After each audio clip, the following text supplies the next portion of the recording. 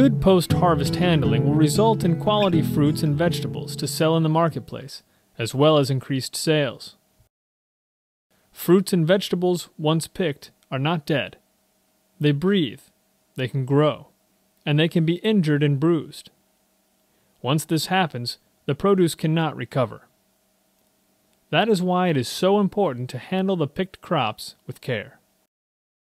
While it takes months to prepare the land, install a drip irrigation system, and care for the plants, it only takes seconds to damage the fruits and vegetables beyond repair.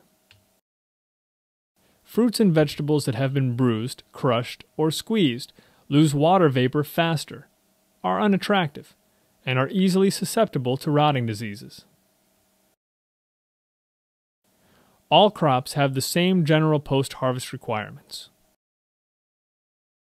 The produce must be clean and free of contamination by soil and other matter, especially chemical sprays. There should be no visible animal or insect damage, no mold or disease, no cuts and bruises. The produce should be free of abnormal external moisture and chemical odors. The produce should immediately be kept cool in shaded conditions after harvest and while waiting for collection. And field crates should be washed and sanitized after each reaping.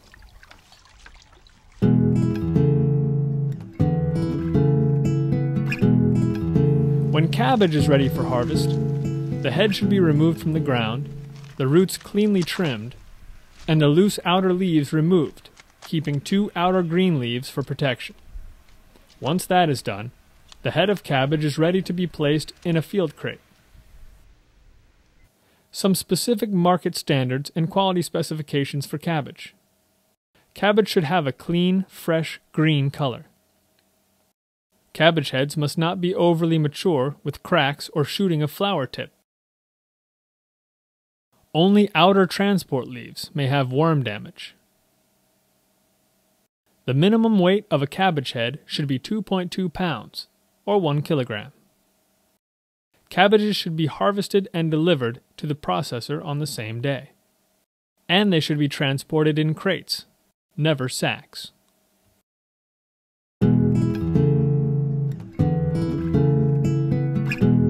These photos are of tomatoes in the color break stage. It is at this stage when the tomatoes should be harvested. Some specific market standards and quality specifications for tomatoes. The shape of the tomatoes should be well formed and typical of the variety. The tomato should be free of soft spots. Tomatoes should be packed into field crates, not sacks. The stalk, or calyx, should be broken at the natural junction. The spot where the fruit was taken from the stem should look green and fresh.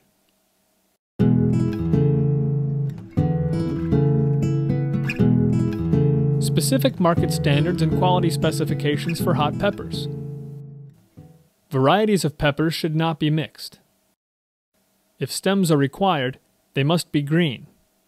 This means they should not be handled by the stems, and should be broken at the natural place.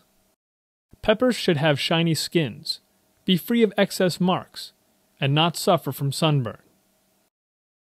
Flesh should be firm, without soft spots. Hot peppers should be packed into field crates, not sacks.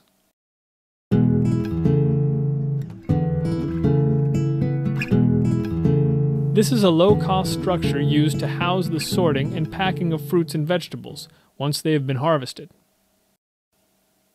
After harvesting, it is important for the picked fruits and vegetables to be placed in a shaded area, away from moisture and heat. If kept in the heat, they will lose water and quality, causing them to be worth less in the marketplace. If a covered shelter is not available, the produce may be sorted in a shady area. Here, the farmer is sorting peppers under the shade of a tree. When transporting fruits and vegetables, use a covered vehicle so that the crops are not exposed to heat and loss of quality in transit.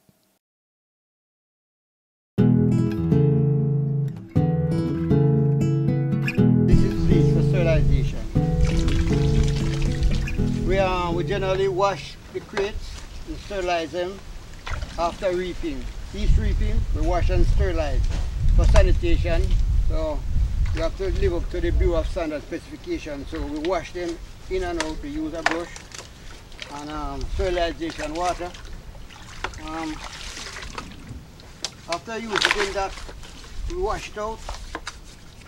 We um we rinse it in, um in a, a second water. Things to remember. Protect your crop from physical shock, piercing, or crushing. This means cutting long fingernails, using care with knives, and handling produce carefully. Never sit or walk on produce, even when it is packed into crates. And protect crops from sun, heat, and moisture.